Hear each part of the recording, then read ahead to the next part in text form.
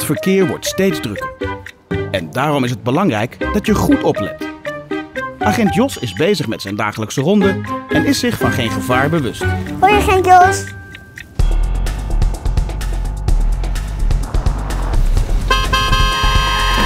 Uh-oh. Agent Jos? Eh, agent Jos? Waar is hij nou gebleven? Gaat het? Ja, Je had beter uit moeten kijken. ja. Zou ik je vertellen hoe het moet? Huh?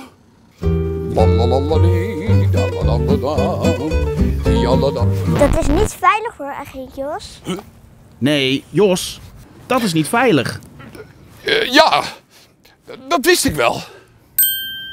Het overige verkeer ziet je niet als je tussen twee auto's instaat en gaat oversteken. Je kunt dus het beste oversteken bij een zebrapad. Bij een zebrapad moet de automobilist jou voorrang geven. Maar kijk altijd eerst goed naar links, rechts en links om er zeker van te zijn dat er niets aankomt en of de auto's ook echt stoppen. Kijk, dat is een stuk veiliger.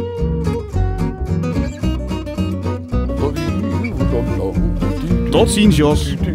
Hallo, dag.